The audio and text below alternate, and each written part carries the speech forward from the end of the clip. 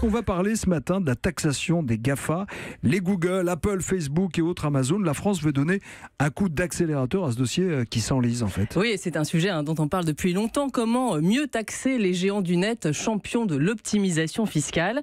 Alors en mars dernier, la Commission européenne a fait une proposition euh, soutenue par la France, une taxe de 3% sur le chiffre d'affaires généré par les grands groupes du numérique.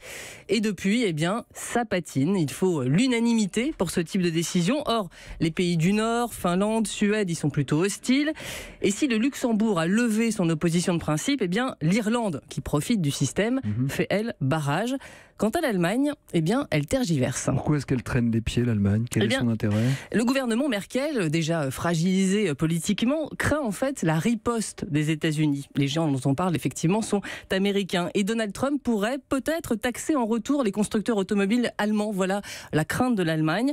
Euh, du coup, le ministre des Finances en a appelé euh, hier à une solution extra-européenne, un taux d'imposition minimum dans le monde entier, une solution sur laquelle planchent actuellement les pays de l'OCDE. Mais la France est pressée, elle ne veut pas attendre. Oui, et le ministre de l'économie, Bruno Le Maire, lancera demain un appel en direction de ses partenaires européens, un appel à s'engager sans délai. Il se rendra pour cela au Parlement européen, car il veut prendre à témoin les citoyens et leurs représentants.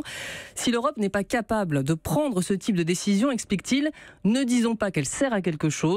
Le ministre fera aussi le déplacement jeudi et vendredi à Berlin pour convaincre hein, ses partenaires allemands. Mhm. L'objectif, c'est de trouver un accord d'ici la fin de l'année quelques mois avant les élections européennes. Mais ça va être très dur. Hein. Aujourd'hui, on ne voit pas du tout, étant donné les résistances, comment ce calendrier pourrait être tenu.